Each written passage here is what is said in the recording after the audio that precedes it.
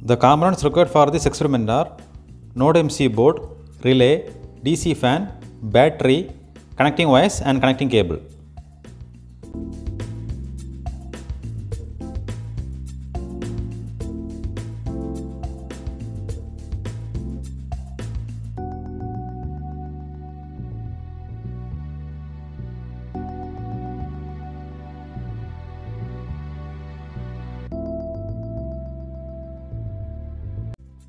Now log into blynk.cloud website and go to the templates page. Here click on new template and give any name for the template.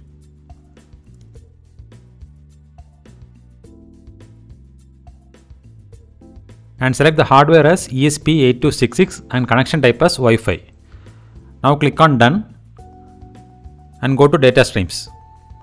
Here click on new data stream and select the digital pin. Here enter the name as switch and select the pin as 4. In our program we selected the pin as D2 so we need to select the GPIO pin 4 in Blynk website. Now click on create and now go to web dashboard.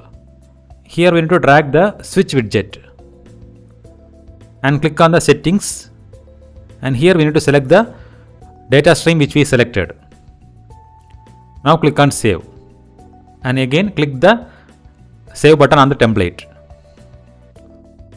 Now go to the search option and click new device and here click from template. Here we can see the template which we created. Now click on create. Now copy this template ID, device name and authentication token and paste in your program. And here we need to enter the Wi-Fi username and password. And now go to tools and select the board as ESP8266 and select Node MC 1.0.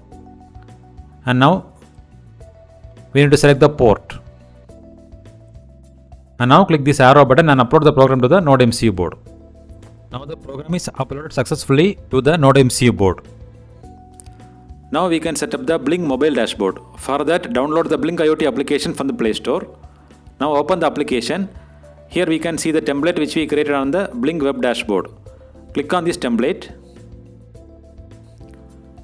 Go to settings. Click on this plus button and add a button widget. Now click on this button and select the data stream. And select the button mode as switch. Now close this and click on the back button. Now the mobile setup is completed.